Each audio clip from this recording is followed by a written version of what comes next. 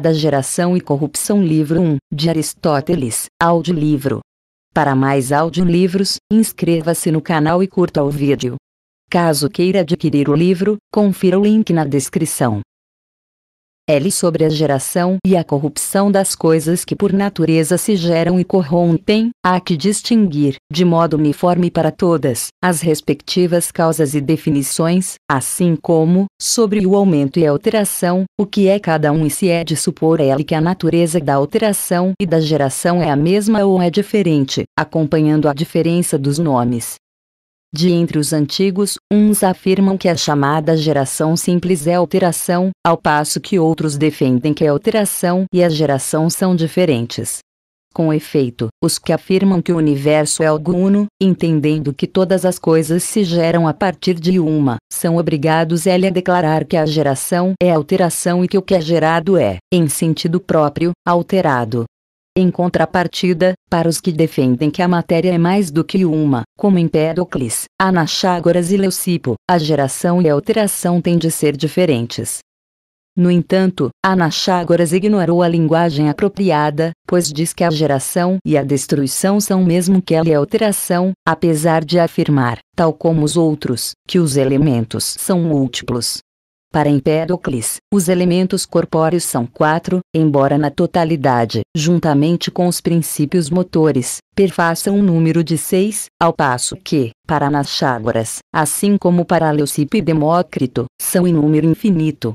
É que Anaxágoras postula como elementos as homeomerias, tais como o osso, a carne, a medula e as restantes coisas em que a parte é sinônima com cada uma.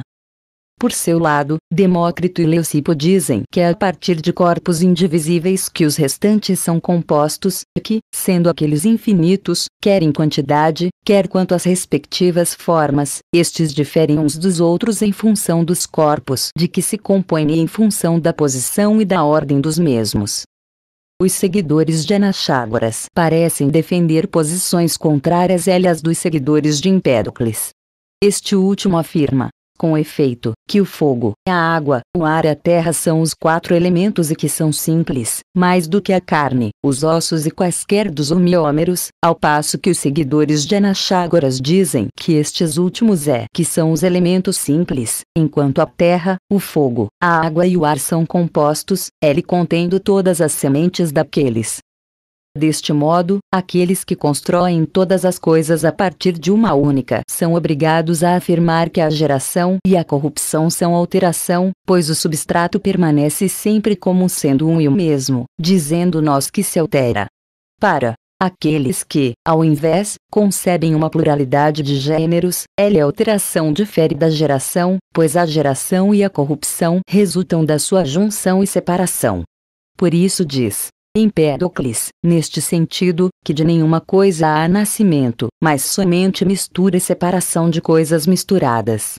E, pois, evidente que, nestes termos, o discurso destes pensadores é adequado à hipótese que assumem, é que é neste sentido que o formulam.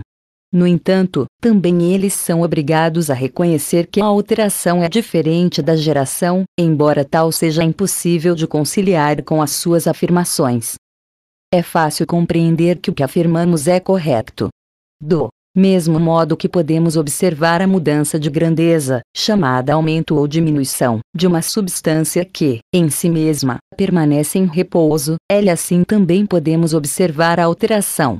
No entanto, partindo do que defendem aqueles que postulam mais do que um princípio, a alteração é impossível, pois as afecções de que dizemos resultar a alteração são diferenças dos elementos, por exemplo quente, frio, branco-negro, seco-úmido, macio-duro e L todas as outras, como Empédocles também refere. O sol por toda a parte brilhante à vista e quente, e a chuva sobre todas as coisas escura e fria, distinguindo de modo semelhante as restantes afecções.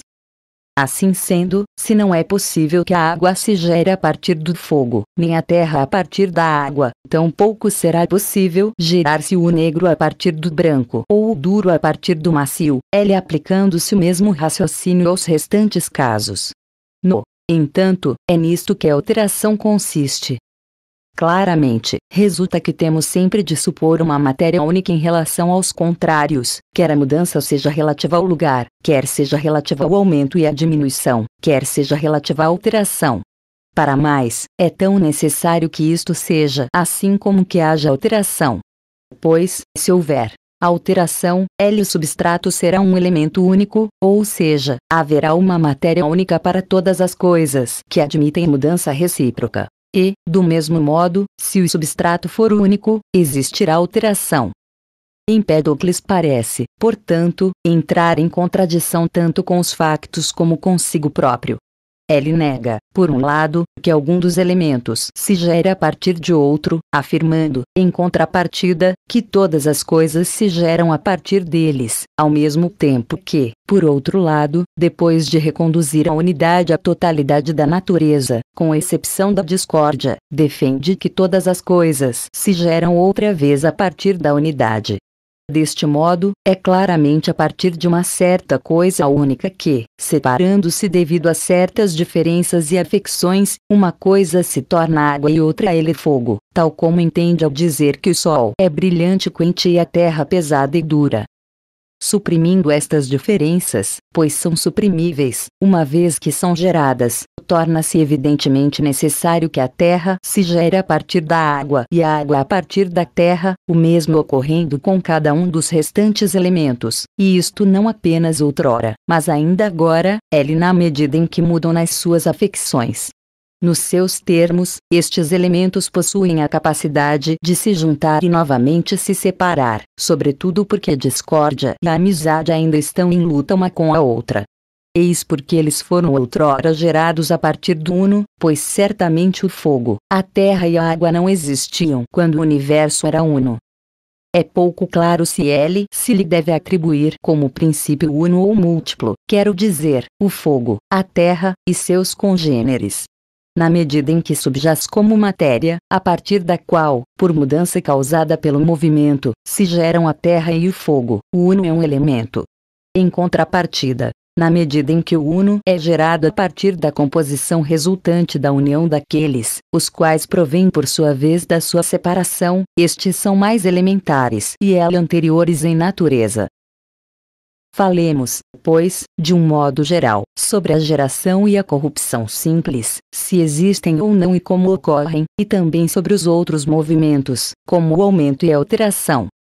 Platão examinou a geração e a corrupção apenas na medida em que ocorrem nas coisas, e não considerou a geração na sua totalidade, mas somente a dos elementos. Nada, disse sobre o modo como se geram as carnes, os ossos ou outras coisas semelhantes, nem tão pouco sobre o modo como a alteração e o aumento ocorrem nas coisas. Em geral, ninguém se debruçou sobre nenhum destes assuntos a não ser de modo superficial, com exceção L de Demócrito. Este, porém, parece ter refletido sobre todos eles, L distinguindo-se desde logo pelo modo como fez. Pois, como Dizemos, não só ninguém disse nada definido sobre o aumento que não pudesse ser dito por qualquer pessoa ao acaso, nomeadamente, que as coisas aumentam por adição do semelhante ao semelhante, nada dizendo, porém, sobre o modo como tal ocorre, como ninguém explicou a mistura nem, por assim dizer, nenhum dos restantes problemas. Por exemplo, L de que modo, no caso da ação e da paixão, uma coisa exerce ação e outra padece as ações naturais. Demócrito e Leucipo, porém, postulando as figuras, delas fazem resultar a alteração e a geração, sendo a geração e a corrupção explicadas pela sua associação e separação, e a alteração pela sua posição e ordem. Uma vez que acreditavam, que a verdade ali reside na aparência sensível, e que as aparências são contrárias e inumeráveis, conceberam as figuras como sendo inumeráveis, pelo que é devido a mudanças do composto que a mesma coisa parece contrária a uma e a outra pessoa, e é transmutada por pequeno que seja o que se lhe misture, e pode parecer completamente diversa devido à transmutação de um único constituinte, pois é com as mesmas letras que se compõe uma tragédia ele uma comédia. Todavia, uma vez que a quase todos parece que a geração e a alteração são diferentes, e que as coisas se geram e corrompem por associação e separação e se alteram por transmutação das suas afecções, teremos de nos deter a considerar estas questões, pois elas encerram dificuldades simultaneamente numerosas e razoáveis. Hélice, por um lado, a geração for uma associação, seguir-se-ão muitas consequências impossíveis. Em contrapartida, há outros argumentos, constringentes e de difícil refutação, segundo os quais a geração não pode ser outra coisa. Se, por outro lado, a geração não for uma associação, ou a geração não será em absoluto outra coisa que alteração, ou também teremos de tentar resolver esta questão, por difícil que seja. A origem L de todos estes problemas está em saber se os entes se geram, alteram, aumentam e sofrem as correspondentes mudanças contrárias, porque as coisas primárias são grandezas indivisíveis ou se, pelo contrário, não há nenhuma grandeza indivisível. Esta questão possui a máxima importância. Além disso, se houver tais grandezas, serão corpos, como para Demócrito e Leucipo, L ou superfícies, como no Timeu, Ora, quanto a esta última posição, é absurdo, como defendemos em outros escritos, decompor as coisas até as superfícies. Mais razoável será, portanto, afirmar a existência de corpos indivisíveis, embora também estes tenham muitas consequências absurdas. No entanto, para estes filósofos, é possível conceber a alteração e a geração, tal como dissemos, L por meio da transmutação de um mesmo corpo quanto à orientação, ao contacto e L as diferenças das suas figuras, como faz Demócrito, por isso ele nega que a cor exista, sendo por orientação que as coisas adquirem cor, ao passo que a mesma explicação já não é possível para aqueles filósofos que dividem os corpos em superfícies, pois nada se gera, com exceção dos sólidos, por composição de superfícies. E eles, de resto, não tentam explicar a geração de uma afecção a partir das superfícies. L. A falta de experiência é causa da reduzida capacidade de compreender os factos reconhecidos. Por este motivo, aqueles que estão mais familiarizados com os fenômenos naturais têm uma maior capacidade de estabelecer os princípios que permitem abranger a maior quantidade de fenômenos. Em Contrapartida, aqueles cujo excesso de argumentos desviou da observação dos factos poucos fenômenos consideram, mas com demasiada facilidade discorrem sobre os mesmos.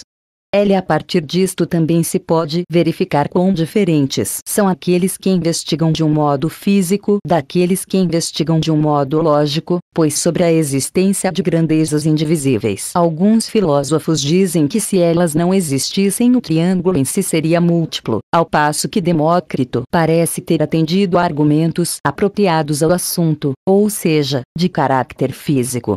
O que queremos dizer tornar-se-á claro à medida que avançarmos. Uma dificuldade surgirá, com efeito, hélice se supuser a existência de um corpo ou grandeza totalmente divisível e a possibilidade desta divisão. O que haverá, então, que possa escapar à divisão? Pois se um corpo fosse totalmente divisível e tal divisão fosse possível, poderia ser totalmente dividido ao mesmo tempo, ainda que as divisões não ocorressem simultaneamente, e se tal pudesse acontecer, não seria impossível, Deste modo, se o corpo fosse por natureza totalmente divisível, ele quer se trate de divisão em metades ou de divisão em geral, nada de impossível resultaria ao ser dividido, pois mesmo que fosse inúmeras vezes dividido em inúmeras partes o resultado não seria impossível, ainda que provavelmente ninguém o pudesse levar a cabo. Admitindo, porém, que o corpo seja totalmente divisível, suponhamos-lo dividido. O que poderá restar, uma grandeza. Tal não será possível, pois haveria ele algo que não teria sido dividido, e admitimos que o corpo era totalmente divisível. No Entanto, se não restasse corpo nem grandeza e houvesse divisão, ou o corpo seria constituído por pontos, sendo desprovidas de grandeza as coisas de que fosse composto, ou nada seria em absoluto, pelo que, neste caso, o corpo de nada seria proveniente e de nada seria composto, e o seu todo nada mais seria do que aparência. De igual modo, se o corpo fosse constituído ele por pontos, não teria quantidade. Pois quando os pontos estivessem em contacto e se formasse uma grandeza única, mantendo-se eles juntos, o todo não se tornaria maior. Com efeito, se fosse dividido em duas ou mais partes, o todo não se tornaria menor nem maior do que antes. Em consequência, mesmo que todos os pontos se juntassem, não formariam nenhuma grandeza. Em contrapartida, se a divisão do corpo originasse algo semelhante à serradura, L da grandeza assim resultasse alguma coisa corpórea, valeria o mesmo argumento, pois em que sentido seria esta última divisível? Se, porém, não resultasse, uma coisa corpórea, mas alguma forma separável ou uma afecção, e a grandeza fosse constituída por pontos ou contactos que possuíssem tal afecção, seria absurdo ele que uma grandeza fosse constituída por coisas que não são grandezas. Além disso, onde estariam os pontos? E seriam imóveis? Ou estariam em movimento? Um contacto ocorre sempre, entre duas coisas, pelo que há sempre alguma coisa além do contacto, da divisão ou do ponto. Por conseguinte, se se supuser que qualquer corpo, qualquer que seja o seu tamanho, é totalmente divisível, serão estas as consequências. Além disso, se eu reconstituir ele um pedaço de madeira ou algum outro corpo que tenha dividido, ele voltará a ser igual e uno. Será claramente assim, qualquer que seja o ponto em que eu corte o pedaço de madeira. Este é, portanto, totalmente divisível em potência. O que há na madeira, então, além da divisão?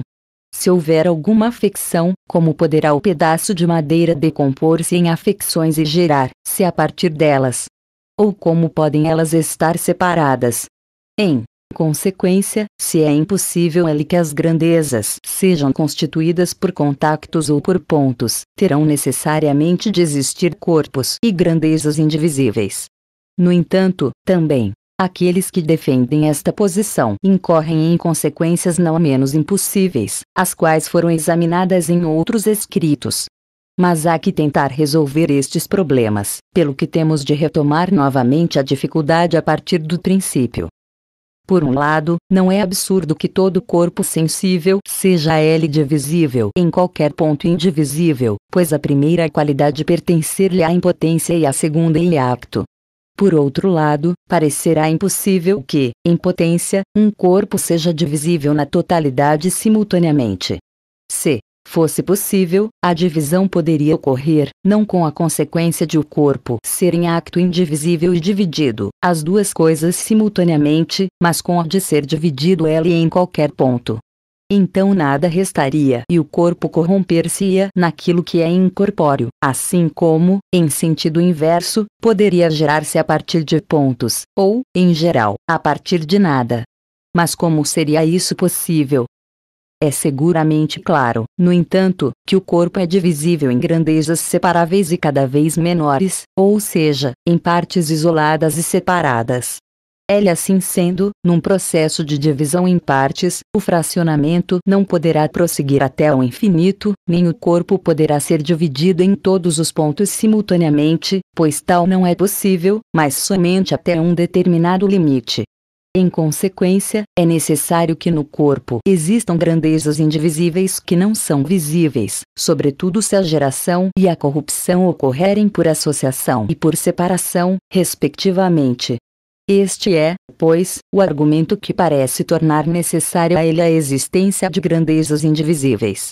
Mostraremos, porém, que esconde um paralogismo, onde o esconde, Dado que um ponto não é contíguo a outro ponto, as grandezas são totalmente divisíveis em certo sentido, mas não em outro. Quando admitimos que uma grandeza é totalmente divisível, supomos ele que nela haja um ponto tanto em qualquer parte como em toda parte, pelo que necessariamente se seguirá que a grandeza pode ser dividida até nada resultar, pois nela existe um ponto em toda parte, de modo que é constituída por contactos ou por pontos mas uma grandeza é totalmente divisível apenas no sentido em que haja um ponto em qualquer lugar e todos os pontos estejam em cada lugar como está cada um em particular. No entanto, não há mais do que um ponto em cada lugar, pois os pontos não são consecutivos, pelo que a grandeza não pode ser totalmente divisível. L pois se fosse divisível pelo meio, também o seria pelo ponto contíguo ao meio, mas não é, porque uma marca não é contígua a outra marca, nem um ponto a outro ponto, e isto quer se trate de divisão, quer se trate composição. Em consequência, há associação e separação, mas não a partir de grandezas indivisíveis ou nelas resultando, pois muitas seriam as consequências impossíveis, nem de modo a que a divisão seja total L, o que seria possível somente se um ponto fosse contíguo a outro ponto. A separação resulta em partes pequenas ou mais pequenas, ao passo que a associação resulta de partes mais pequenas. No entanto, a geração simples e completa não se define, como alguns afirmam, pela associação e pela separação, nem a alteração é uma mudança no que é contínuo. Pelo contrário, é nisto ali que todas as doutrinas erram, pois a geração e a corrupção simples não ocorrem por associação e separação, mas quando uma coisa se transforma por inteiro em outra. Eles pensam que toda mudança assim ocorrida é uma alteração, mas há uma diferença. Com efeito, no substrato há uma coisa que corresponde à definição e outra que corresponde à matéria. É assim, quando a mudança ocorre nestas coisas, haverá geração ou corrupção, mas quando ocorre nas afecções e acidental, haverá alteração. Em resultado da separação e da associação, as coisas tornam-se facilmente corruptíveis, pois quanto mais pequenas forem as gotas em que a água se dívida, mais depressa se tornam ar, ao passo que se as gotas se associarem, mais lentamente se tornam ar. Isto tornar-se-á mais L claro em posterior tratamento. Por agora, será suficiente que fique estabelecido que a geração não pode ser associação, contrariamente ao que alguns afirmam. Feitas estas distinções, consideremos em primeiro lugar se há alguma coisa que se gere e corrompa de modo simples, ou se neste sentido próprio não há nenhuma, ocorrendo a geração sempre a partir de alguma coisa e resultando em alguma coisa, como, por exemplo, ser saudável a partir de ser doente L e ser doente a partir de ser saudável, ou ser pequeno a partir de ser grande L, ser grande a partir de ser pequeno, e assim em todos os outros casos. Pois se houver geração simples, alguma coisa poderá gerar-se de modo simples a partir do não ser, pelo que será verdadeiro afirmar que o não ser é atributo de algumas coisas. Com efeito, a geração qualificada ocorre a partir do não ser qualificado, como a partir do não branco ou L do não belo, ao passo que a geração simples ocorre a partir do não ser simples. Ora, simples significa ou o primeiro em cada predicação do ser, ou o universal, ou seja, o que engloba todas as coisas. Se, por conseguinte, o não ser simples significar o primeiro, a geração simples será a geração de uma substância a partir de uma não substância mas aquilo que não é uma substância nenhum ente determinado claramente não pode ser predicado segundo nenhuma das outras categorias, L como a qualidade, a quantidade ou o lugar, pois nesse caso as afecções existiriam separadas das substâncias. Em contrapartida, se o não ser simples significar o não ser em geral, tal será a negação universal de todas as coisas, pelo que o que se gera será necessariamente gerado a partir do nada, as dificuldades relativas a estes assuntos foram expostas e mais amplamente discutidas em outro lugar, mas, de forma resumida, ele devemos também aqui referir que, em certo sentido, a geração ocorre a partir do não ser simples, mas, em outro sentido, ocorre sempre a partir do que é. Com efeito, ó, que é em potência mas não é em acto tem de preexistir, sendo dito das duas maneiras, Apesar destas distinções, temos de regressar novamente a uma questão que encerra uma dificuldade extraordinária, designadamente a de saber como é possível a geração simples, quer ocorra ele a partir do que é em potência, quer ocorra de algum outro modo. Com efeito, poderá suscitar dificuldade o facto de a geração ser geração da substância, ou seja, de um ente determinado, mas não da determinação pela qualidade, pela quantidade ou pelo lugar, e do mesmo modo em relação à corrupção. Pois se alguma coisa se gera, é evidente que haverá, não em acto mas em potência, uma substância a partir da qual a geração ocorre e na qual ele necessariamente se transforma aquilo que se corrompe. Mas, pertencer-lhe-á em acto algum predicado segundo as outras categorias, por outras palavras, aquilo que somente em potência é um ente determinado e existe, e que em sentido simples não é um ente determinado nem existe, possuirá quantidade, qualidade ou lugar, por exemplo. Pois se não possuir, nenhum predicado em acto, mas os possuir todos em potência, resultará que o que não é, entendido desta maneira, tem existência separada e, além disso, aquilo que sempre causou o maior L receio e preocupação aos que primeiro filosofaram, designadamente que a geração ocorra a partir de nada preexistente, mas se, por outro lado, apesar de não ser um ente determinado ou uma substância, possuir algum predicado segundo as outras categorias referidas, as afecções serão, tal como dissemos, separadas das substâncias. Devemos, portanto, discutir estes problemas na medida do possível, e inquirir qual a causa ele da perenidade da geração, tanto da geração simples como da parcial. L havendo uma causa que dizemos ser o princípio do qual provém o movimento e outra que dizemos ser a matéria, consideremos esta última causa. Sobre a primeira foi anteriormente dito, nos escritos sobre o movimento, que há aquilo que está imóvel durante todo o tempo e aquilo ali que se move sempre. Determinar o primeiro destes princípios, o imóvel, constitui tarefa de outra filosofia, designadamente da filosofia primeira quanto aquele que, sendo continuamente movido, move todas as outras coisas, teremos de explicar depois qual das causas ditas particulares apresenta esta característica. Por ora, falemos da causa classificada sob a espécie de causa material, devido a qual ela é a corrupção e a geração nunca deixam de ocorrer na natureza, pois se este problema for esclarecido, talvez possamos simultaneamente esclarecer a presente dificuldade relativa ao modo como se deve explicar a corrupção e a geração simples. O próprio problema de saber qual é a causa da continuidade da geração já apresenta uma dificuldade considerável, se de facto o que se corrompe regressa ao não ser ele o não ser não é nada, pois o não ser não é uma coisa, nem possui qualidade, quantidade ou lugar. Se, por conseguinte, há sempre algum ente a desaparecer, por que motivo o universo se não consumiu e extinguiu há muito tempo, se for da facto limitado aquilo a partir do qual se gera cada uma das coisas geradas. Não será certamente por ser infinito aquilo a partir do qual se gera cada coisa que a geração não lhe deixa de ocorrer. Com efeito, tal é impossível, pois nada é infinito em acto, e em potência as coisas são infinitas por divisão, pelo que seria necessário que a geração não deixasse de ocorrer unicamente por se gerarem coisas cada vez menores. Mas não é isto que nós vemos. Será então porque a corrupção de uma coisa é a geração de outra e a geração de uma é a corrupção de outra a ele que a mudança é, por necessidade, incessante? No que diz respeito ao facto de haver geração e corrupção em todos os entes por igual, devemos admitir que esta causa é adequada a todos eles. Mas temos ainda de investigar por que motivo se diz que algumas coisas se geram e corrompem de modo simples e outras sem ser de modo simples, se na verdade o processo de geração L de uma coisa é o mesmo que o de corrupção de outra, e o de corrupção de uma o mesmo que o de geração de outra. Este problema requer, de facto, uma explicação.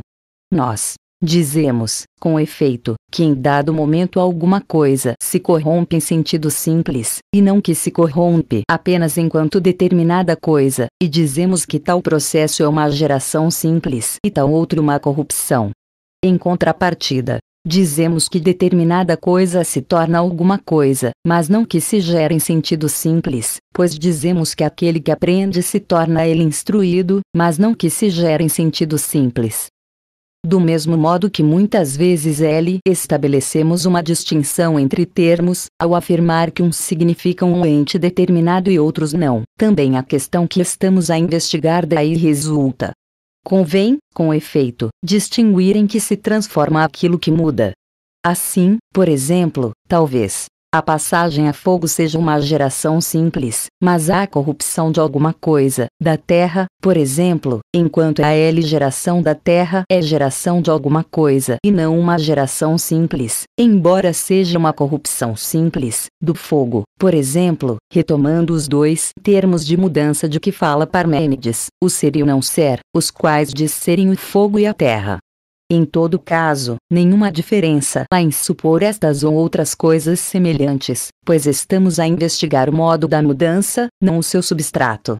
A passagem ao ele não ser simples é, por conseguinte, corrupção simples, enquanto a passagem ao ser simples é geração simples. Assim, quer a mudança seja delimitada pelo fogo e pela terra, quer o seja por outros termos, um deles será ser e o outro não ser. Este é, pois, um dos modos segundo os quais a geração e a corrupção simples se distinguem das que não são simples. Um outro modo será segundo a qualidade da matéria daquilo que muda, pois a matéria cujas L diferenças mais significarem um ente determinado será mais uma substância, ao passo que aquela cujas diferenças mais significarem uma privação será mais não ser. Se o quente, por exemplo, for uma predicação, ou seja, uma forma, o frio será uma privação, distinguindo-se a terra e o fogo segundo estas diferenças. Na opinião da maioria das pessoas, porém, a diferença reside principalmente no perceptível e no imperceptível.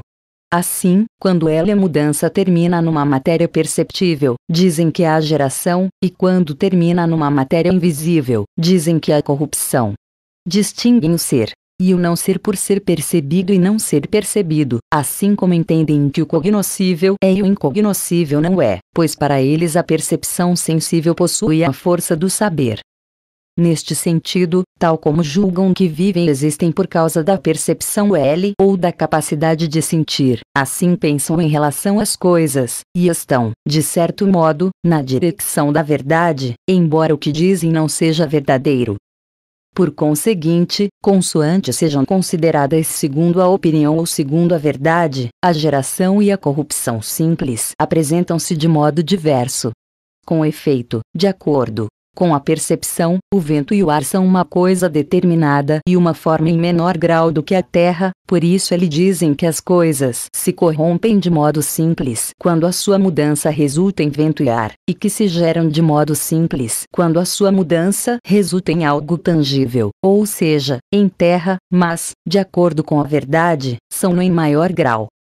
Está assim explicada a causa da existência de geração simples, que é corrupção de alguma coisa, bem como de corrupção simples, que a geração de alguma coisa é L, é por haver diferença na matéria, ou seja, porque esta é ou não é uma substância, L ou porque é substância em maior ou menor grau, ou porque é mais perceptível ou menos perceptível a matéria a partir da qual ocorrem e na qual resultam aquelas mudanças. Quanto ao motivo por que de algumas coisas se diz que se geram de modo simples, enquanto de outras se diz apenas que se tornam alguma coisa, sem ser por geração recíproca, segundo o modo que temos vindo a considerar L, pois o que até agora determinamos foi apenas o motivo porque, uma vez que toda geração é corrupção de outra coisa e toda corrupção é geração de alguma outra, não atribuímos indiferentemente a geração da corrupção às coisas que se transformam transformam umas nas outras. E o que depois discutimos não considerava esta dificuldade, mas a de saber por que não ele se diz que se gera de modo simples aquele que aprende, dizendo-se que se torna instruído, ao passo que daquilo que nasce se diz que se gera de modo simples. Tais distinções são determinadas pelas categorias. Com efeito, há coisas que significam um ente determinado, outras uma qualidade, outras uma quantidade, Assim, das coisas que não significam uma substância não se diz que se geram de modo simples, mas que se tornam alguma coisa. No entanto, de modo igual em todas as categorias, diz-se que há geração somente segundo L, uma das duas séries de contrários, na categoria da substância, por exemplo, dir-se a haver geração no caso de se gerar fogo, mas não no caso de se gerar terra, e na categoria da qualidade, quando alguém se torna instruído, mas não quando se torna ignorante. Explicamos, pois, o motivo por que umas coisas se geram de modo simples e outras não, tanto em geral como no que diz respeito às próprias substâncias, e porque o substrato é causa material da geração contínua, designadamente porque ele é capaz de se transformar nos contrários e porque, no caso das substâncias, a geração de uma coisa é sempre a corrupção de outra, assim como a corrupção de uma é sempre a geração de outra. No entanto, não é necessário discutir o problema de saber por que motivo continua a haver geração apesar de serem constantemente destruídas. Com efeito, assim, como as pessoas dizem que há corrupção simples quando uma coisa passa a ser imperceptível e resulta em não ser, também dizem que há geração a partir L do não ser quando uma coisa provém do que é imperceptível. Portanto, quer o substrato seja alguma coisa, quer não seja, o que se gera provém do não ser. Em consequência, do mesmo modo que uma coisa se gera a partir do não ser, corrompe-se resultando em não ser. É por conseguinte razoável que a geração não deixe de ocorrer, pois a geração é corrupção do não ser e a corrupção é geração do não ser. No que diz respeito a este não ser simples, porém, ele poder se ia colocar o problema de saber se há um dos contrários, por exemplo, se a terra, ou seja, o pesado, é não ser, enquanto o fogo, ou seja, o leve, é ser, ou se, não sendo o caso, também a terra é ser, enquanto não ser é a matéria, tanto a da terra como a do fogo. Além disso, a matéria de cada um será diferente, não sendo neste caso possível ele que se gerem a partir uns dos outros e a partir dos contrários, pois em tais elementos, designadamente no fogo, na terra, na água e no ar, existem contrários. Ou será a matéria a mesma em certo sentido, mas diferente em outro? Com efeito, o que quer que seja, aquilo que subjaz é o mesmo, mas o ser não é o mesmo sobre estes assuntos, ele seja bastante o que dissemos. Expliquemos agora em que diferem a geração e a alteração, pois entendemos que estas mudanças são diferentes uma da outra.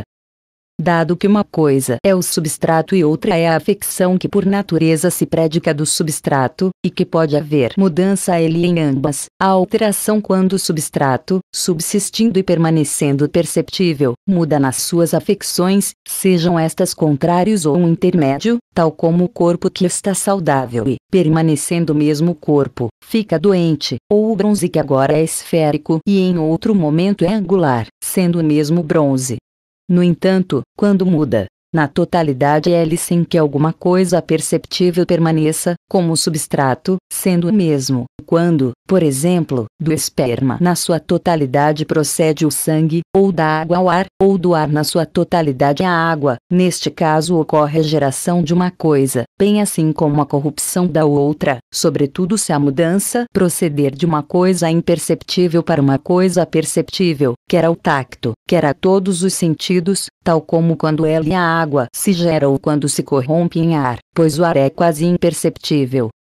Nestes casos, porém, se uma afecção pertencente a um par de contrários permanecer na coisa que se gerou sendo idêntica ao que era naquela que se corrompeu, quando, por exemplo, se gera água a partir do ar, se as duas coisas forem diáfanas ou frias, aquela que resulta da mudança não deve ser uma afecção desta que permanece. Em caso contrário, tratar, se há de uma alteração, é como quando, por exemplo, se corrompe o homem culto e se gera o homem inculto, mas o homem permanece o mesmo. Se a cultura e a incultura não fossem afecções essenciais do homem, dar-se a geração da segunda e a corrupção da primeira. Por estas mudanças, serem afecções próprias do homem, embora haja corrupção do homem culto e geração do homem inculto, elas são de facto afecções do que permanece. Por isso, tais mudanças são alteração. Assim sendo, quando a mudança entre contrários ocorre segundo a quantidade, é aumento e diminuição. Quando ocorre segundo o lugar, é translação. Quando ocorre segundo as afecções, ou seja, segundo a qualidade, é alteração. Quando não ali permanece nada de que o termo resultante da mudança seja uma afecção ou, em geral, um acidente, é geração e, por outro lado, corrupção. A matéria é, no sentido mais próprio do termo, o substrato capaz de admitir a geração e a corrupção, mas é também, em certo sentido, o substrato das restantes mudanças, porque todos os substratos são capazes de admitir certas contrariedades. Sobre a geração, se ela existe ou não existe como ocorre, e sobre a alteração, ficam deste modo apresentadas as nossas distinções. Resta falar sobre o aumento, explicar em que difere da geração e da alteração e de que modo aumenta cada uma das coisas que aumentam ali e diminui cada uma das que diminuem. Em primeiro lugar, temos de indagar se a diferença entre estas mudanças reside somente naquilo em que elas ocorrem, na medida em que, por exemplo, a mudança de uma coisa determinada para outra, ou seja, de uma substância em potência para uma substância em acto, é geração, enquanto a mudança relativa à grandeza é aumento e a mudança relativa a uma ficção é alteração, L consistindo as duas últimas em mudanças das coisas que são em potência as que referimos para as que o são em acto, ou se a diferença reside também no modo como ocorre a mudança, pois é evidente que o que se altera não muda necessariamente quanto ao lugar, nem tão pouco o que se gera, mas muda o que aumenta, assim como o que diminui, embora de modo diferente daquele segundo o qual muda o que se translada. Com efeito, aquilo, L que se translada muda de lugar na sua totalidade, ao passo que aquilo que aumenta muda de lugar como uma coisa que se distende, pois esta permanece onde está enquanto as suas partes mudam de lugar, embora não como as de uma esfera, dado que estas mudam de lugar enquanto todo continua a ocupar um espaço igual, ao passo que as partes daquilo que aumenta mudam de modo a ocupar um espaço cada vez maior, assim como as partes daquilo que diminui mudam de modo a ocupar um espaço cada vez menor. L resulta assim evidente que as mudanças do que se gera, do que se altera e do que aumenta são diferentes não apenas quanto àquilo a que são relativas, mas também quanto ao modo como se dão. Mas aquilo em que ocorrem as mudanças por aumento e diminuição, sendo em relação à grandeza que o aumento e a diminuição parecem ocorrer, como devemos concebê-lo? Deveremos, Supor ele que o corpo e a grandeza se geram a partir do que em potência é corpo e grandeza, mas em acto é incorpóreo e desprovido de grandeza. E uma vez que isto pode ser compreendido em dois sentidos, qual corresponde ao modo como se produz o aumento? Será a partir de uma matéria separada e existente por si ou de uma matéria existente em outro corpo? Ou será impossível que se produza de qualquer um destes dois modos, L com efeito, se a matéria possuir existência separada, ou não ocupará nenhum espaço, como um ponto, ou será um vazio, ou seja, um corpo não perceptível. Mas a primeira destas alternativas é impossível, e a segunda implica necessariamente que a matéria esteja em alguma coisa. Com efeito, o que a partir de tal matéria se gera estará sempre em algum lugar, pelo que também ela estará em algum lugar, ou por si ou por ela acidente. Por outro lado, se de facto existirem alguma coisa e ainda assim estiver separada de tal modo que nem por si nem por acidente seja pertença da mesma, muitas consequências impossíveis hão de resultar. Assim, por exemplo, se o ar se gera a partir da água, não será devido a uma mudança da água, mas porque a matéria do ar se encontra contida na água como se estivesse num recipiente, L nada impede, portanto, que haja na água uma variedade indeterminada de matérias que possam tornar-se coisas em acto.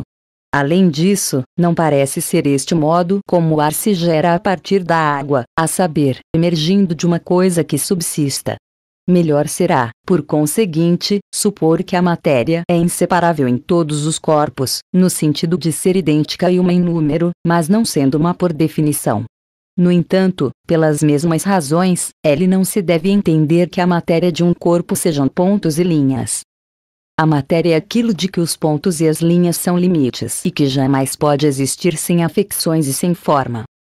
Assim sendo, tal como também determinamos em outro lugar, uma coisa gera-se, em sentido simples, a partir de outra coisa, e por ação de alguma coisa que já existe em acto e seja do mesmo gênero ou ela da mesma espécie, como o fogo gerado pelo fogo ou o homem gerado pelo homem, ou por ação de uma actualidade, pois o que é duro não é gerado pelo que é duro, E uma vez que há uma matéria da substância corpórea, mas que é já matéria de um corpo determinado, pois o corpo não existe como entidade comum, ela é também a mesma de grandeza e da afecção, e é separável por definição, mas não é separável quanto ao lugar, a não ser que ela e também as afecções sejam separáveis. Da discussão destas dificuldades resulta claramente que o aumento não é uma mudança a partir daquilo que, embora em potência seja grandeza, em acto não possui grandeza alguma, senão o vazio seria separável, e já antes afirmamos em outro lugar que tal é impossível. Além disso, uma tal mudança não é própria do aumento, mas da geração L em geral. Com Efeito: o aumento é um incremento de uma grandeza já existente, enquanto a diminuição é uma redução da mesma. Por isso, o que aumenta tem de possuir alguma grandeza, pelo que o aumento não deve proceder de uma matéria sem grandeza para uma actualidade de grandeza, pois isso seria sobretudo a geração de um corpo e não tanto seu aumento. Procuremos então, como se retomássemos ela a investigação a partir do início, apreender com maior precisão qual a natureza do aumento e da diminuição cujas causas investigamos. Verificamos que toda e qualquer parte de uma coisa que aumenta é aumentada, do mesmo modo que, no caso da diminuição, toda e qualquer parte se torna menor. Além disso, o aumento parece ocorrer quando alguma coisa se junta e a diminuição quando alguma coisa se retira. L por conseguinte, o aumento tem necessariamente de ocorrer pela junção de alguma coisa incorpórea ou pela junção de um corpo. Se ocorrer pela junção de alguma coisa incorpórea, haverá um vazio separado, mas, como antes dissemos, é impossível que a matéria de grandeza seja separável. Se, por outro lado, ocorrer pela junção de um corpo, haverá dois corpos num mesmo lugar, o que aumenta e o que provocou o aumento, mas também isto é impossível. No entanto, ele também não é possível afirmar que o aumento e a diminuição ocorrem do modo como, por exemplo, o ar provém da água, Ainda que, neste caso, o volume se torne maior, tal não será um aumento, mas uma geração daquilo em que a mudança termina e uma corrupção do seu contrário. Não há aumento de nenhum dos dois, pois ou nada aumenta ou aumenta alguma coisa comum a ambos, se existir, pertencente tanto ao que se gera a ele como ao que se corrompe, como, por suposição, o corpo não tendo aumentado a água nem o ar, mas tendo se destruído a primeira e gerado o segundo, terá sido o corpo que supostamente aumentou. No entanto, também tal é impossível. Com efeito, as características do que aumenta e do que diminui têm de ser preservadas na sua definição. Estas características são três. A primeira é o facto de toda e qualquer parte ali de uma grandeza que aumente se tornar maior, como as partes da carne, se de carne se tratar. A segunda é o facto de o aumento ocorrer por junção de alguma coisa, a terceira é o facto de aquilo que aumenta ser preservado e subsistir, pois nos casos de geração ou corrupção simples a coisa não subsiste, ao passo que nos casos de alteração e de aumento ou diminuição aquilo que aumenta ou se altera permanece sendo o mesmo. L embora a afecção, no caso da alteração, e a grandeza, no caso do aumento e da diminuição, não permaneça a mesma. Se, por conseguinte, o processo que referimos fosse aumento, seria possível haver aumento sem que nada fosse adicionado e sem que nada subsistisse, e haver diminuição sem que nada fosse retirado, e não subsistir aquilo que aumenta. Mas isto tem de ser preservado, pois supusemos que o aumento possuía tal característica. Poder-se-ia também colocar a questão L de saber o que é aquilo que aumenta, designadamente se será aquilo a que alguma coisa se junta. No caso de, por exemplo, crescer uma perna, será esta que se torna maior e não aquilo por meio do qual ela cresce, designadamente o alimento. Por que motivo? Então, não aumentam ambos, com efeito, torna-se maior tanto aquilo que aumenta como aquilo por meio do qual aumenta, como quando se mistura vinho com água, pois cada um se torna, de modo semelhante, mais volumoso. Será porque permanece a substância de um mas não a do outro, L como no caso do alimento, de facto, mesmo no caso do vinho e da água, disse que aumenta aquilo que predomina na ele mistura, designadamente que o vinho aumenta, pois a mistura composta produz o efeito do vinho e não o da água. O mesmo ocorre no caso da alteração. se a carne continuar a ser carne, ou seja, aquilo que é, mas adquirir uma afecção essencial que antes não possuía, disse que se altera. L quanto aquilo por meio do qual a carne é alterada, umas vezes não é afetado, outras vezes também se altera. No entanto, o que produz a alteração e o princípio do movimento residem naquilo que aumenta e naquilo que se altera, pois neles se encontra o motor. De facto, também aquilo que entra poderá tornar-se maior, tal como o corpo que o consumiu, como se, por exemplo, depois de entrar se tornasse vento, mas ele corrompe-se depois de sofrer tal mudança, e o motor não se encontra nele. Tendo suficientemente discutido estas questões, é preciso tentar encontrar a solução do problema, salvaguardando as condições de aquilo que aumenta subsistir, de o aumento ocorrer por junção e a diminuição por retirada de alguma coisa, e ainda de cada ponto perceptível se tornar maior ou menor, é sem o corpo ser vazio, nem haver duas grandezas no mesmo lugar, nem aumento por meio de alguma coisa incorpórea. Para apreender a causa do aumento há que determinar, em primeiro lugar, que as coisas anomiômeras aumentam por aumentarem as homiômeras, pois todas as anomiômeras são compostas por estas últimas, e, em segundo lugar, que a carne, o osso e todas as L partes deste tipo possuem um duplo aspecto, tal como as outras coisas que possuem a forma na matéria, pois tanto a matéria como a forma são designadas carne ou osso que cada uma das partes aumente e que tal ocorra pela junção de alguma coisa, é possível no que diz respeito à forma, mas não no que diz respeito à matéria. É preciso considerar a questão à luz do que sucederia se alguém medisse água com uma mesma L medida, pois o que de cada vez produzisse seria sempre diferente. É assim que aumenta a matéria da carne, não há acréscimo em cada uma das suas partes, havendo uma parte que é dispensada e outra que é acrescentada. Há, porém, acréscimo em cada parte da figura ou forma. Nas coisas anomiômeras, como a mão, verifica-se mais claramente que o aumento é proporcional, ele pois nestas coisas a distinção da matéria em relação à forma é mais evidente do que na carne e nas coisas homiômeras. Por isso se considera que num cadáver ainda existe carne e osso, mais do que mão e braço. Em determinado sentido, portanto, cada uma das partes da carne aumenta, mas, em outro sentido, não. Cada uma das partes é acrescentada no que diz respeito à forma, mas não no que diz respeito à matéria. L todo, porém, torna-se maior pela adição de alguma coisa que L chamamos alimento e lhe é contrária, bem como pela transformação do alimento ao adquirir a mesma forma que a da carne, como, por exemplo, o úmido que se juntasse ao seco e, depois da junção, mudasse e se tornasse seco. Em determinado sentido, com efeito, o semelhante aumenta por meio do semelhante, mas, em outro sentido, aumenta por meio do dissemelhante poder-se ainda colocar a questão de saber como deve ser aquilo ali por meio do qual uma coisa aumenta. É evidente que terá de ser em potência aquilo que aumenta, carne em potência, por exemplo, se aquilo que aumenta for carne. Em acto será, por conseguinte, outra coisa. Assim, quando esta, se corrompe, gera-se carne, embora na verdade ela própria por si se não torne carne, pois isso seria uma geração ou não um aumento, sendo, pelo contrário, aquilo que é aumentado que se torna carne por meio de tal coisa. Que a afecção sofrerá, então, esta coisa por parte daquilo que é aumentado? Será ela misturada, como se se juntasse água a vinho e este ali fosse capaz de converter em vinho aquilo que lhe foi misturado? Deste modo, tal como o fogo se prende ao combustível, assim o princípio de aumento que inere naquilo que aumenta, sendo carne em acto, se apodera da carne em potência que se lhe junta, produzindo carne em acto.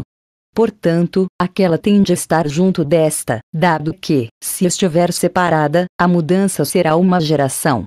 Com efeito, é possível fazer fogo L colocando lenha sobre o fogo já existente, e neste caso há aumento, mas quando se ateia fogo a própria lenha, há geração.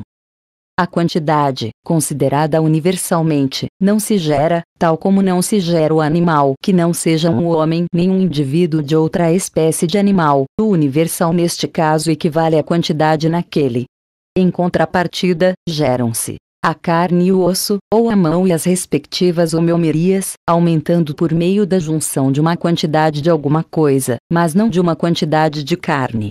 Na medida em que aquilo que se junta é em potência o conjunto de ambas as coisas, ou seja, uma quantidade de carne, produz aumento, pois tanto tem de se tornar uma quantidade como tem de se tornar carne, mas na medida em que é em potência apenas carne, fornece alimento. Nisto diferem, por definição, a nutrição e o aumento. É por isso que a nutrição ocorre sempre enquanto o corpo está vivo e ainda que este esteja a perecer, é ao passo que o aumento não ocorre sempre.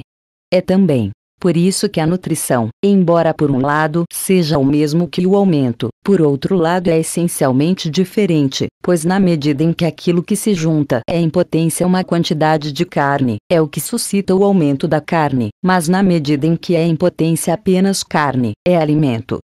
Esta forma sem matéria e, como um tubo, uma certa potência na matéria.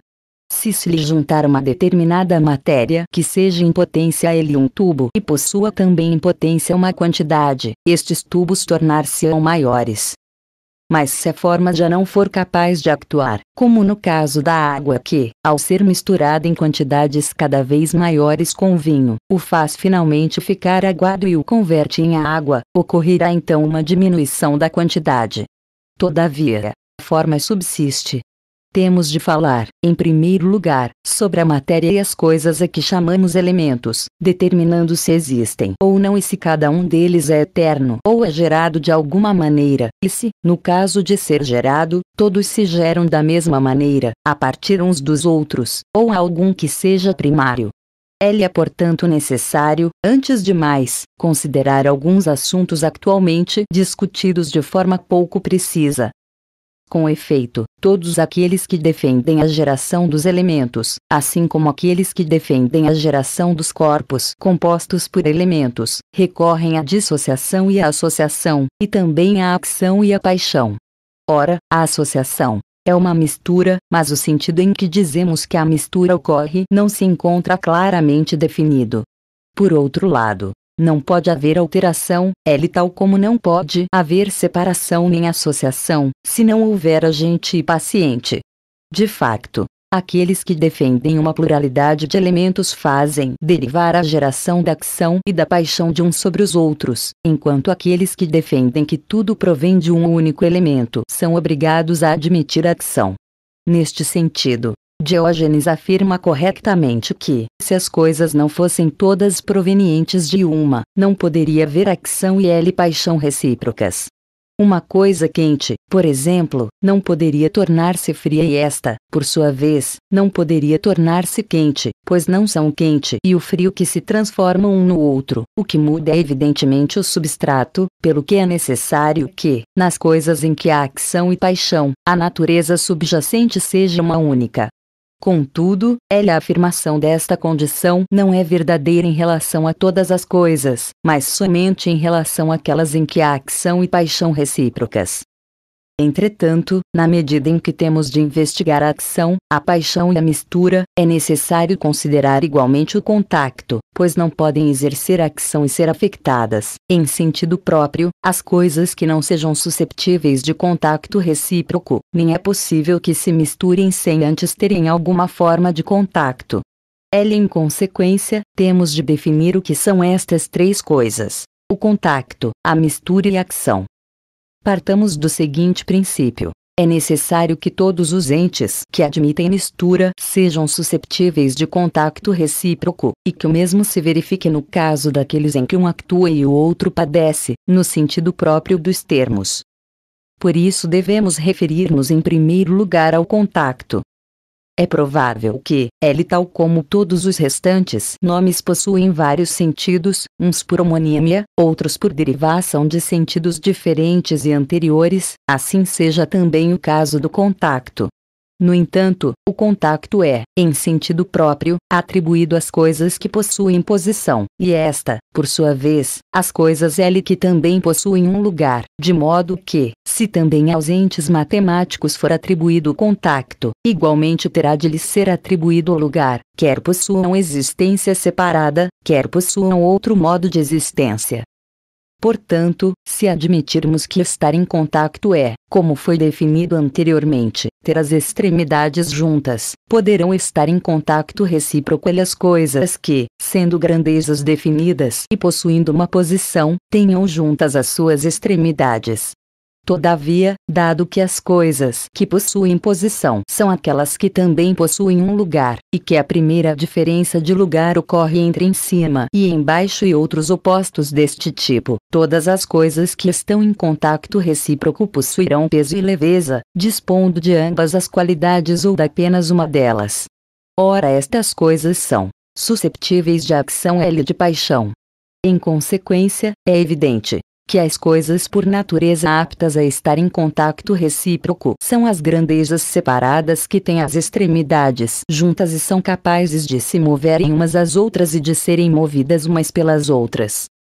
No entanto, dado que o modo como o motor move aquilo que é movido não é o mesmo em todos os casos, havendo um motor que move tendo necessariamente de ele próprio ser movido e outro que move sendo ele próprio imóvel, claramente se verifica aquela mesma distinção poderá ser feita a respeito daquilo que exerce a ação, pois diz-se que, em determinado sentido, o motor exerce uma ação, assim como se diz que aquilo que exerce uma ação move. Apesar disso, são coisas diferentes e é preciso distingui-las. Com efeito, não é possível que todo motor exerça ação, se opusermos àquilo que exerce a ação àquilo que é afetado este último se referir às coisas cujo movimento é uma afecção, sendo uma afecção algo segundo o qual as coisas apenas se alteram, como o branco e o L quente. Pelo contrário, mover é um termo de maior extensão do que actuar, o que resulta claro, portanto, é que, em determinado sentido, as coisas capazes de mover poderão estar em contato com as coisas capazes de ser movidas, e, em outro sentido, tal não se verifica mas a definição de contacto em geral refere-se a coisas que possuem posição e em que uma é susceptível de ser movida e a outra é capaz de mover, enquanto a definição de contacto recíproco se refere a coisas em que uma é susceptível de ser movida e a outra é capaz de mover e nas quais se verifica a existência de L paixão e ação, respectivamente. É certo que, na maioria dos casos, aquilo que toca outra coisa é tocado por esta última. Com efeito, quase todas as coisas que nos rodeiam movem sendo movidas, e neste caso é necessário, assim como é evidente, que aquilo que toca outra coisa seja tocado por esta última. Mas é possível que, como por vezes dizemos, apenas o motor toque o movido, e neste caso aquilo que toca outra coisa não é tocado por esta última L, contudo, em virtude de os motores do mesmo gênero que as coisas movidas moverem sendo eles próprios movidos, parece necessário que sejam tocados por aquilo que tocam. Em consequência, se alguma coisa move sendo imóvel, poderá tocar o movido sem que este o toque. Neste sentido, por vezes, dizemos que o que nos aflige nos toca, mas não que nós próprios o tocamos. Fica assim definido o contacto no âmbito dos entes naturais. Ele falemos, a seguir, sobre a ação e a paixão. Sobre este assunto herdamos dos nossos predecessores explicações opostas entre si, a maioria está de acordo ao afirmar que o semelhante nunca é afetado pelo semelhante, porque nenhum é ele mais ativo ou passivo do que o outro, pois dizem que a coisas semelhantes pertencem no mesmo grau todas as propriedades que tenham idênticas, e que são as coisas de semelhantes e diferentes que, por natureza, actuam e padecem entre si. Neste sentido, mesmo quando um fogo menor é destruído por um fogo maior, dizem que é afetado por causa da contrariedade, pois o muito é contrário ela ao pouco. Demócrito, porém, divergiu dos outros e foi o único que formulou uma teoria peculiar, afirmando que o agente e o paciente são o mesmo, ou seja, semelhantes, pois não é possível que coisas diversas e diferentes sejam afetadas umas pelas outras. Pelo contrário, ainda que as coisas, sendo diversas, possam exercer alguma ação entre si, não é enquanto diversas que tal sucede no seu caso, mas enquanto detentoras de alguma propriedade idêntica. L. Estas são, então, as suas teorias, e aqueles que deste modo as formularam parecem defender posições manifestamente contrárias. Mas a causa da contradição reside no facto de cada uma das teorias em oposição considerar apenas uma parte do que deveria considerar na totalidade. É razoável defender que o semelhante, em todos os aspectos e de todos os modos indiferenciado do seu semelhante, não seja de nenhum modo ele afetado por este último. Com efeito, por que razão haveria um deles de ser mais ativo do que o outro? Se alguma coisa pudesse ser afetada pelo semelhante, poderia igualmente ser afetada por si própria. No entanto, se assim fosse e o semelhante fosse ativo enquanto semelhante, nada seria incorruptível nem imóvel, pois todas as coisas se moveriam a si próprias. Mas o mesmo ocorrerá no caso do que é completamente diverso L e não é o mesmo sob nenhum aspecto. A brancura não pode de nenhum modo ser afetada pela linha, nem a linha pela brancura, a não ser talvez por acidente, no caso de acontecer, por exemplo, que a linha seja branca ou negra, pois as coisas que não são contrárias nem derivadas de contrários não se desviam da sua própria natureza por ação umas das outras.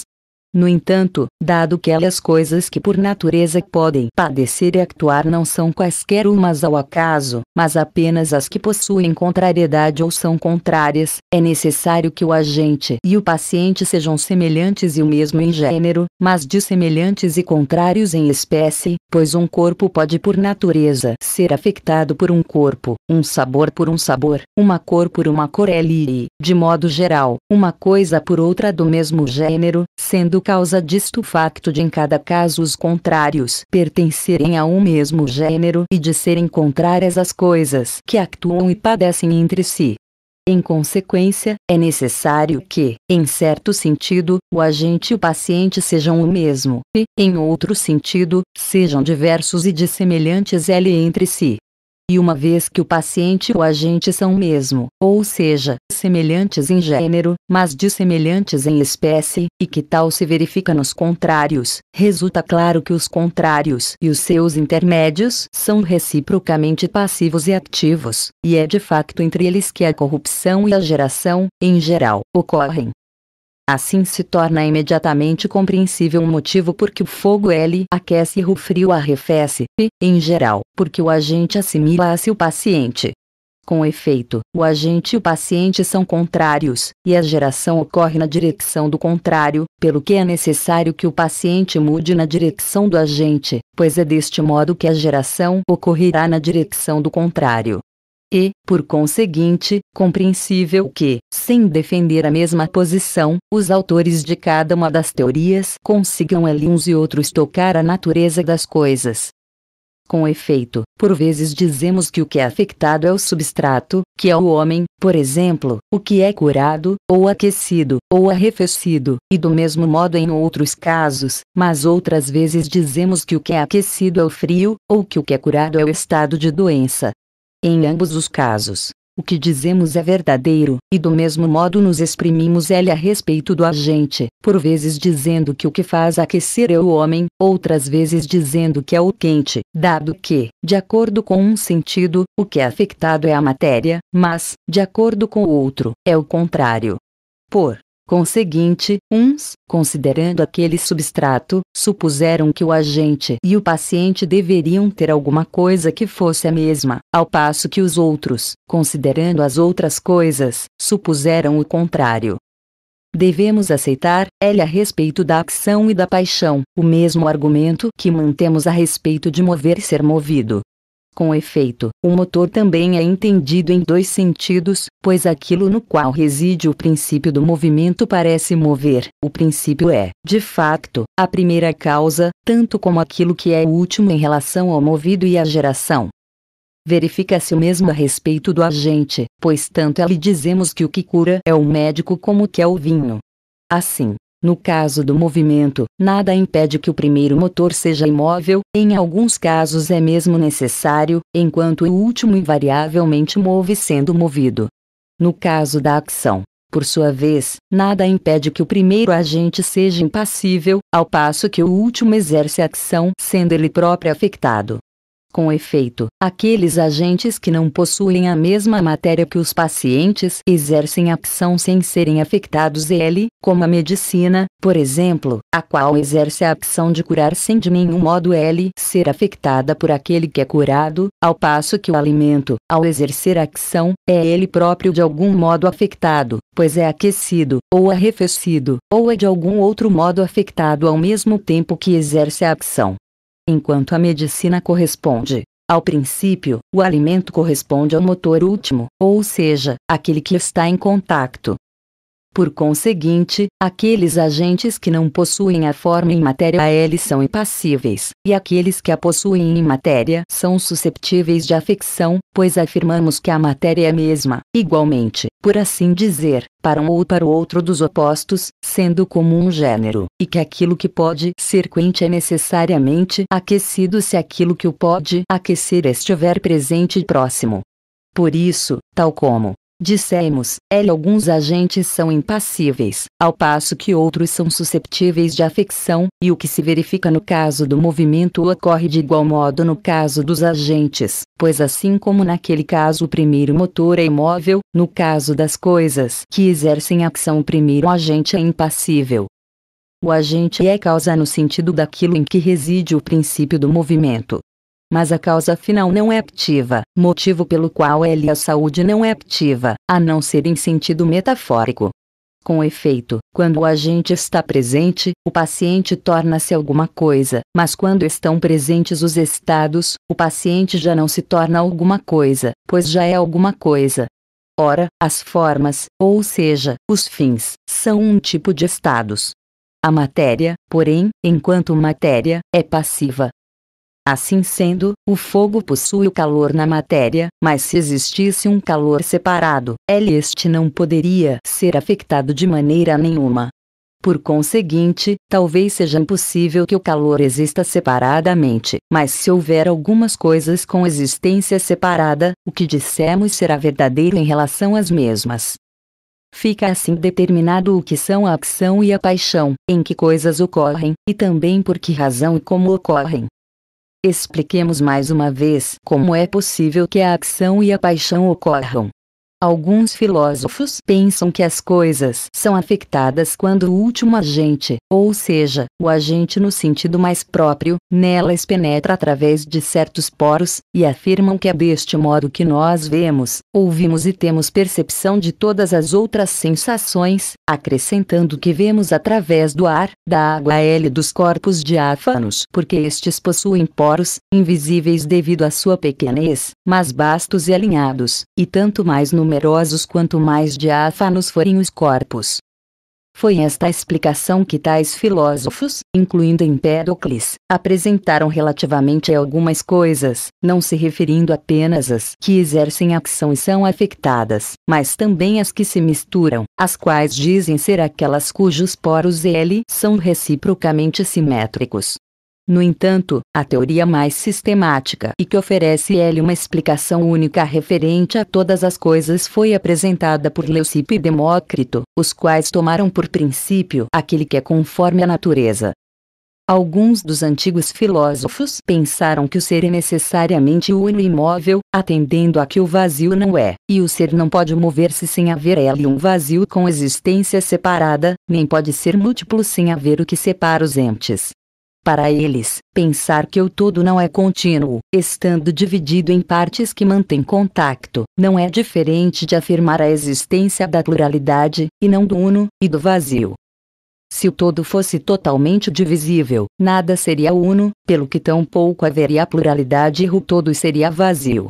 Por outro lado, se fosse divisível em alguns pontos L ou não em outros, tal pareceria qualquer coisa de artificioso. Com efeito, qual, seria o limite da divisão. E por que motivo uma parte do todo seria assim indivisível, ou seja, inteira, e a outra dividida? Além disso, ainda assim seria necessário negar o movimento. Em resultado destes argumentos, ultrapassando e ignorando a sensação a pretexto da obrigação de seguir a razão, afirmam que o todo é uno imóvel, e alguns acrescentam que é infinito, pois o limite que tivesse falo ia confinar com o vazio. Foi com esta explicação que, pelas causas indicadas, alguns filósofos discorreram sobre a verdade. Além disso, a concepção de tais opiniões parece consequente se atendermos aos argumentos, mas aproxima-se da loucura se atendermos aos factos. Com efeito, não há nenhum L louco que esteja tão fora de si que o fogo e o gelo lhe pareçam uma só coisa, sendo apenas entre o que é belo e o que por força do hábito aparenta ser o que alguns, devido à sua loucura, creem não haver diferença. Em contrapartida, Leucipo pensou dispor de argumentos que, concordando com a sensação, não eliminariam a geração L e a corrupção, nem o movimento, nem tão pouco a multiplicidade dos entes fazendo tais concessões aos fenômenos, e concedendo aos que defendem o uno em não poder haver movimento sem vazio, afirma que o vazio é não ser e que nada do que é ser e não ser, pois o ser em sentido próprio é ser totalmente pleno. No entanto, este ser não é um, mas ele muitos, infinitos em número e invisíveis devido à pequenez dos seus volumes, estes seres movem-se no vazio, pois há vazio, e produzem geração quando se reúnem, assim como produzem corrupção quando se separam. Além disso, exercem ação e são afetados quando por acaso têm contato, e por isso mesmo não são um, e produzem geração quando se combinam e entreligam. A partir dela do que é realmente uno, porém, não poderia gerar-se uma multiplicidade, nem a partir do que é realmente múltiplo poderia gerar-se uno, afirmando Leucipo que tal é impossível.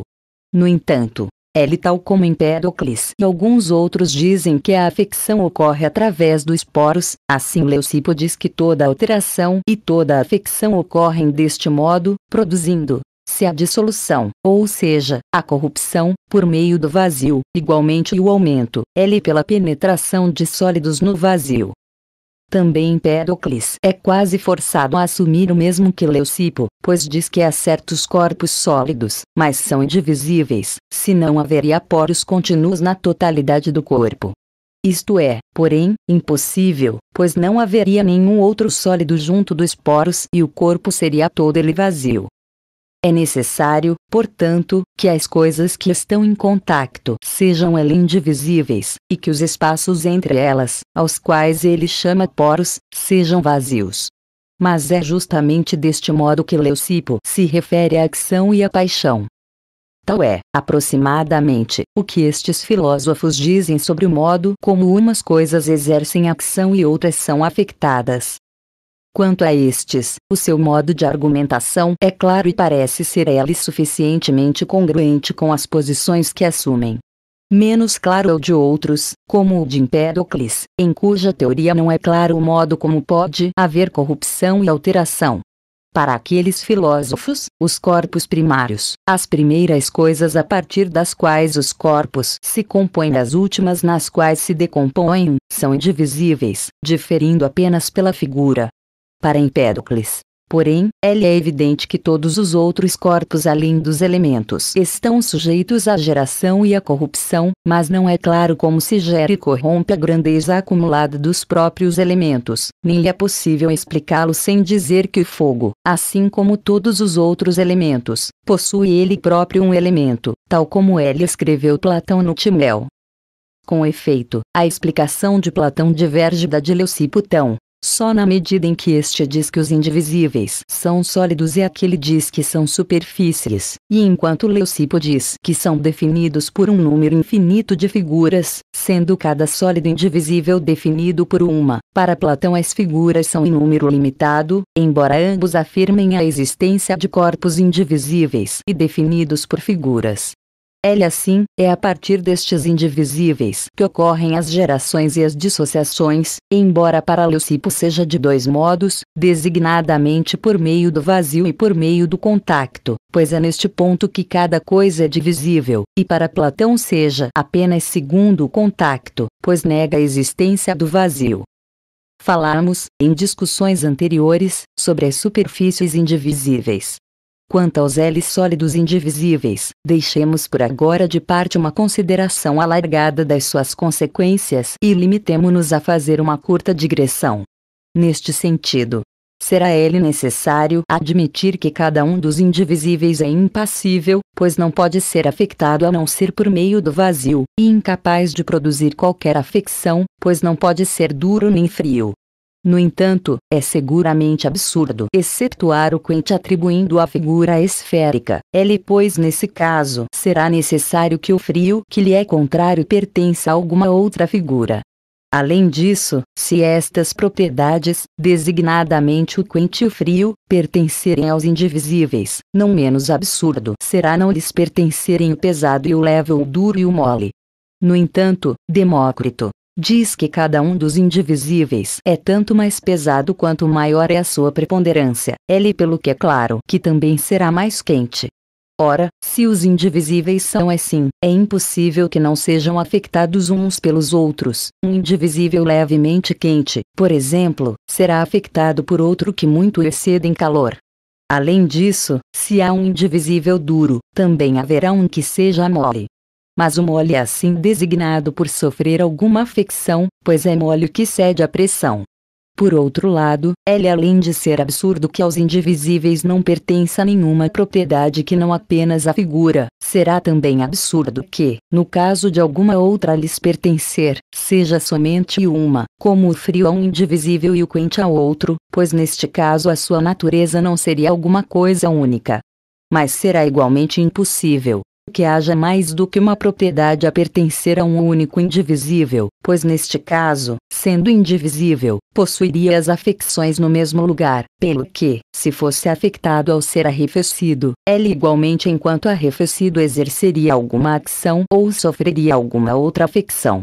O mesmo se verifica no caso das outras afecções, pois tanto aqueles que afirmam que os indivisíveis são sólidos como aqueles que afirmam que são superfícies incorrem de igual maneira nesta consequência. Com efeito, não havendo vazio nos indivisíveis, estes não podem tornar-se nem mais raros nem mais densos. Além disso, é absurdo ele que haja indivisíveis pequenos, mas não haja indivisíveis grandes. Com efeito, é razoável que as coisas maiores se possam fragmentar mais do que as pequenas, pois as primeiras, designadamente as grandes, decompõem-se facilmente, por colidirem com muitas outras. Mas por que motivo será a indivisibilidade, em geral, uma propriedade das coisas pequenas, mais do que das grandes? Além disso, Aqueles sólidos terão todos ele uma única natureza ou diferirão uns dos outros, como se, por exemplo, nas suas massas, uns fossem ígneos e outros fossem térreos. Com efeito, se houver uma natureza única para todos eles, o que será aquilo que os separa? Ou por que motivo se não tornam uma única coisa ao entrar em contato, como quando a água entra em contato com água? Com efeito, nenhuma diferença há entre o posterior e o anterior, por outro lado, se são diferentes, quais são elas suas naturezas? É evidente que haverá que estabelecer tais naturezas como princípios e causas daquilo é que ocorre, mais do que as figuras. Além disso, se forem diferentes em natureza, tanto poderão exercer ação como ser afetados ao entrar em contato recíproco. Além do mais, qual será o seu motor, com efeito, se o motor for diferente deles, eles serão susceptíveis de ser afetados. Em contrapartida, se cada um for motor de si próprio, ou será divisível, em parte movendo e em L parte sendo movido, ou possuirá contrários a respeito de um mesmo aspecto, e a matéria será uma não apenas em número, como também em potência quanto àqueles que dizem que as afecções ocorrem devido ao movimento através dos poros, se tal também se der quando os poros estiverem cheios, estes tornam-se supérfluos. Com efeito, se o todo padece alguma afecção em tais condições, poderá do mesmo modo padecer ainda que não ele tenha poros e seja contínuo. Além do mais, como é possível que a visão através de alguma coisa ocorra da maneira como eles a explicam, com efeito, não será possível atravessar os corpos diáfanos, nem pelos pontos de contacto, nem através dos poros, se cada um destes últimos estiver cheio. Em que poderá isso ser diferente de não ter poros? Tudo será, com efeito, igualmente cheio. Ele, no entanto, ainda que os poros estivessem vazios, mas fosse necessário que contivessem corpos, seguir-se, é novamente a mesma consequência. E se possuírem um tamanho tão pequeno que não possa conter nenhum corpo, será ridículo conceber a existência de um vazio pequeno, mas não a de um vazio grande ou de qualquer tamanho, ou pensar que o vazio significa outra coisa que não seja o espaço de um corpo. É pelo que é claro que a todo corpo corresponderá um vazio de igual volume. De um modo geral, supor a existência de poros é supérfluo, com efeito, se nada exerce ação por meio de contato, tampouco exercerá ação passando através dos poros. Mas se for por contato, ainda que não haja poros, entre as coisas que são por natureza susceptíveis de ação e paixão recíprocas, umas serão afetadas e outras exercerão ação. De quanto dissemos resulta evidente que falar da existência de poros no sentido em que alguns os concebem ou é falso ou é inútil. Na medida em que os corpos são totalmente divisíveis, postular a existência de poros é ridículo, pois os corpos podem, enquanto divisíveis, ser separados em partes. Expliquemos o modo como os entes são susceptíveis de gerar, de actuar e de padecer, partindo de um princípio várias vezes enunciado. Com efeito, se é possível ser tal ou tal tanto em potência como em acto, uma coisa que o seja em potência não pode por natureza ser afetada em determinada parte ou não em outra, mas, ao contrário, é afetada totalmente, tanto quanto seja tal ou tal e tanto mais ou menos quanto seja em maior ou menor grau. E mais adequadamente, se poderia falar de poros neste sentido, como L veios de maior susceptibilidade, tal como os veios de minério que se estendem continuamente nas minas.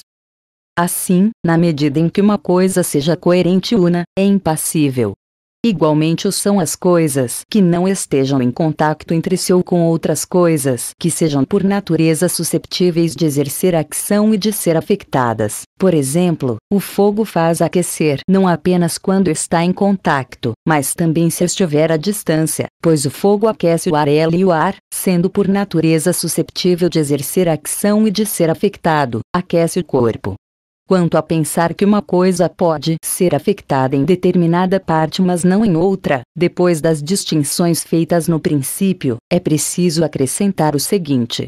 Se a grandeza não for totalmente divisível e, pelo contrário, existir um corpo ou uma superfície indivisível, nenhum corpo poderá ser totalmente passivo, nem tão pouco contínuo. Mas se L tal for falso e todo o corpo for divisível, não haverá diferença entre estar dividido em partes que permanecem em contato e ser divisível.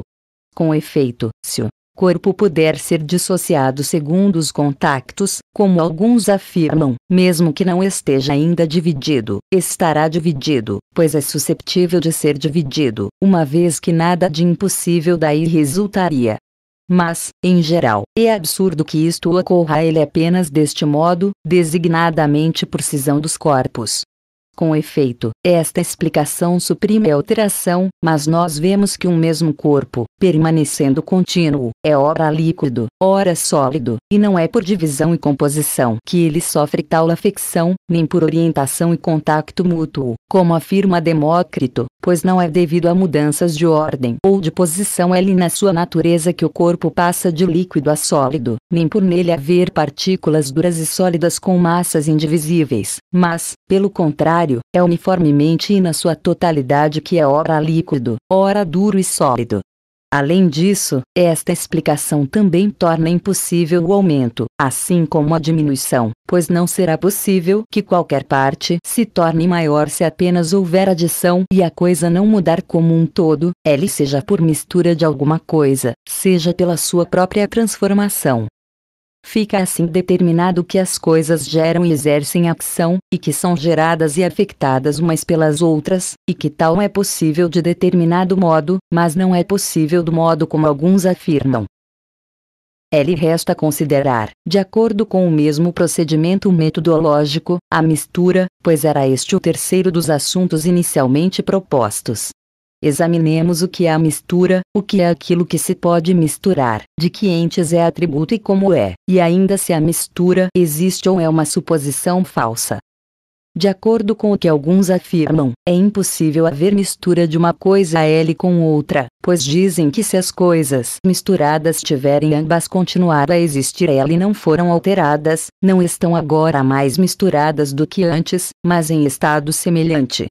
Em contrapartida, se uma delas se tiver corrompido, não foram misturadas, mas uma existe e a outra não, ao passo que a mistura se dá entre coisas que estão em estado semelhante. A situação será a mesma L se cada uma das coisas em mistura se tiver corrompido quando ambas se juntaram, pois as coisas que de maneira nenhuma existem não podem ser misturadas. Este argumento parece, por conseguinte, exigir que se defina o que distingue a mistura da geração e da corrupção, e o que distingue aquilo que é miscível daquilo que é susceptível de geração e de corrupção, pois é claro que a mistura, se existe, terá de ser diferente. Deste modo, L uma vez esclarecidas estas diferenças, as dificuldades poderão ser resolvidas. Seguramente, nós não dizemos que a madeira se mistura com o fogo, nem que a sua combustão é uma mistura, seja das suas próprias partes, seja dela própria com o fogo, mas que há geração do fogo e corrupção da madeira. Do mesmo modo, não dizemos que o alimento se mistura com o corpo, nem que a figura se mistura com a cera ele ao dar forma à sua massa.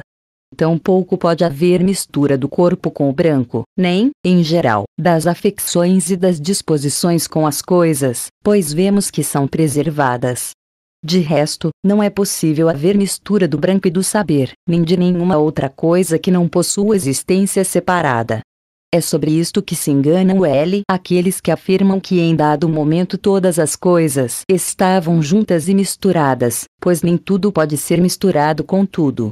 Pelo contrário, cada uma das coisas que se misturam tem de possuir existência separada, mas nenhuma afecção possui existência separada. No entanto, dado que alguns entes são em potência e outros são em acto, é possível que as coisas que se misturam sejam em certo sentido e não sejam em outro. O que resulta da mistura ele pode em acto ser diferente das coisas que se misturam, mas cada uma delas pode em potência continuar a ser o que era antes de ser misturada, sem que tenha perecido. Esta era, com efeito, a dificuldade contida no argumento anterior, mas é evidente que as coisas que se misturam existiam separadamente antes de se juntarem e que podem voltar a ser separadas.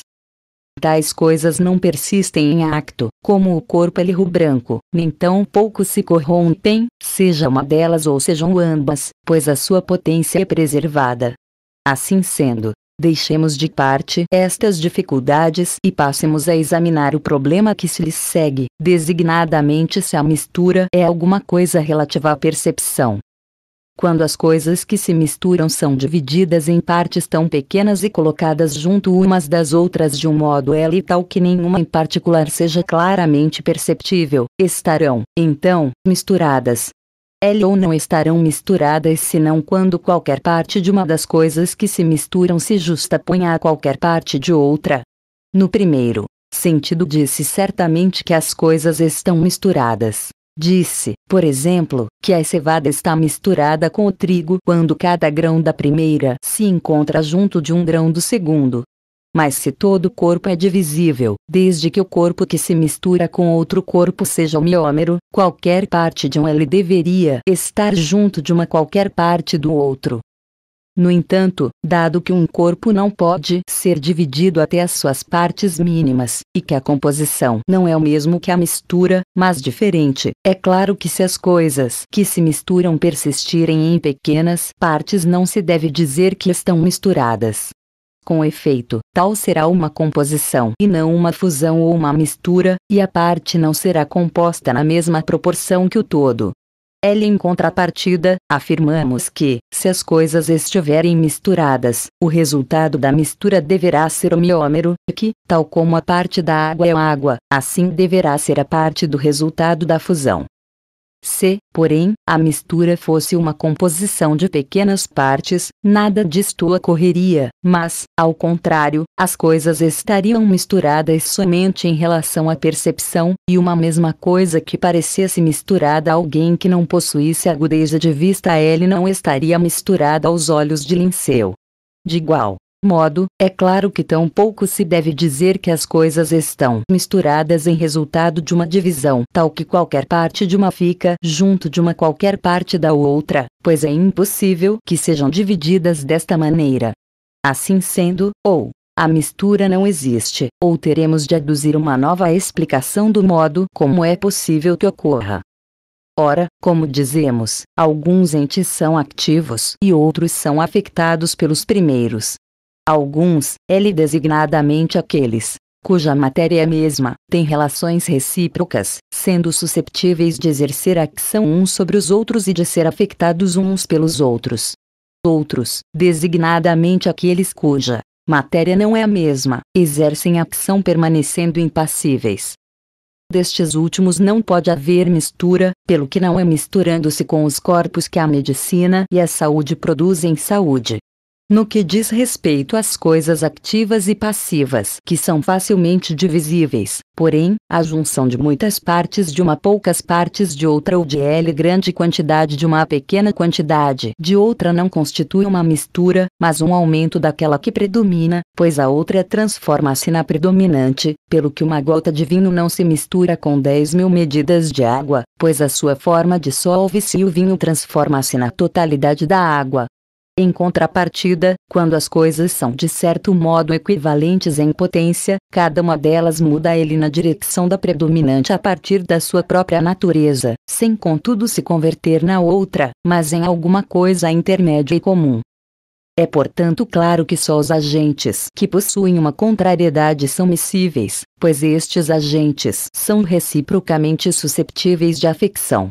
Além disso, os entes misturam-se melhor em partes pequenas de um justapostas a partes pequenas de outro, pois modificam-se reciprocamente com maior facilidade e celeridade, é ao passo que a mudança de uma grande quantidade, mesmo sob a ação de uma grande quantidade, é morosa. Por isso eles são miscíveis os entes divisíveis e passivos que são facilmente delimitáveis, já que estes se dividem facilmente em partes pequenas, e tal é o que significa ser facilmente delimitável. Os líquidos, por exemplo, são os mais miscíveis de todos os corpos, pois, de todos os corpos divisíveis, o líquido é o mais facilmente delimitável, desde que não seja viscoso. L, com efeito, os líquidos viscosos apenas aumentam o volume do composto em quantidade e tamanho. Quando, Porém, apenas um dos corpos é passivo ou extremamente passivo e o outro é muito levemente. O resultado da sua mistura ou não aumenta de volume ou aumenta pouco, como ocorre no caso da mistura de estanho e bronze. Alguns entes são, com efeito, hesitantes e ambíguos uns para com os outros. Ele pois ao mesmo tempo que parecem ser levemente miscíveis, um deles parece ocorrer como receptáculo e o outro como forma. Tal é o que acontece no caso destes metais, pois o estanho quase desaparece, como se fosse uma ficção sem matéria do bronze, apenas deixando, depois de ser misturado, uma coloração no bronze. O mesmo ocorre também em outros casos, torna-se claro, a partir dela do que dissemos, que a mistura existe, assim como o que é, porque ocorre quais são os entes miscíveis, pois que há certos entes tais que são susceptíveis de afecção recíproca e facilmente delimitáveis, ou seja, facilmente divisíveis. Não é necessário, com efeito, que estes entes se corrompam ao serem misturados, nem que continuem simplesmente a ser os mesmos, nem que a sua mistura seja uma composição, nem que seja uma mistura apenas relativa à percepção, em contrapartida, é miscível o que, sendo facilmente delimitável, é susceptível de exercer ação e de ser afetado, e pode ser misturado com outra coisa que tal, pois o miscível é relativo ao homonimamente miscível, e a mistura é uma união de coisas miscíveis que foram alteradas. Não alteradas. Não alteradas. Não alteradas. Não alteradas. Não alteradas. Não alteradas. Não alteradas. Não alteradas alteradas,